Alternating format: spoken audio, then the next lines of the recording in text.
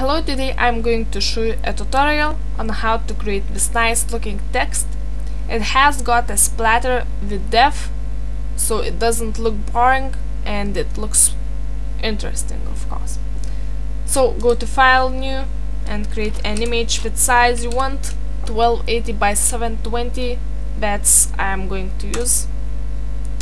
Now swap colors, click on black box change it to like a half go back to white box choose gradient tool radial mode and drag from center to side.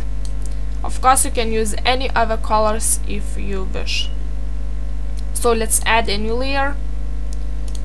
Choose black color for text and text tool any font any size and write something you can write separate letters on separate layers to rotate something. So key, add new let new layer, write some more, add new layer new layer if you need something like that.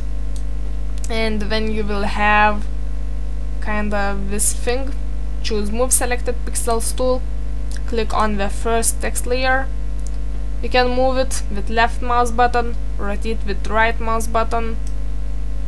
So do some things that you want. Deselect, go to other text layer, same thing.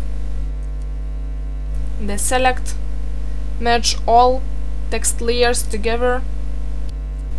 Go to background layer, add new layer, go to effects, tools, custom brushes mini.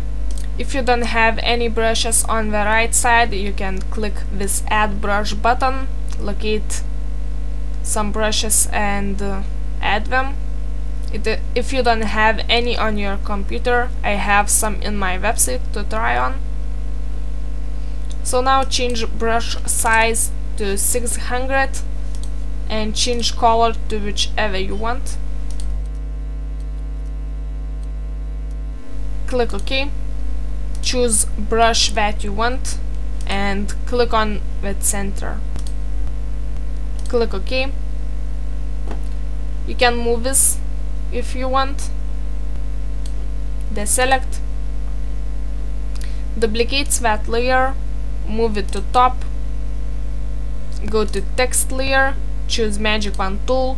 Set tolerance to like about 40 hold left shift and click outside text. Go to top layer, hit delete on your keyboard. Go to effects, and layers, click OK. Go to text layer, effects, object drop shadow, 000, 10, click OK. If you want you can change any settings on that plugin, but these are my settings that I like. So now go to top layer, merge layer twice. You can align text to center by going to effects, align object or object align center both. If you don't like how it moved, you can also move by yourself. Deselect, merge this layer down and uh, that's kinda it. So thanks for watching and I see you next time. Bye.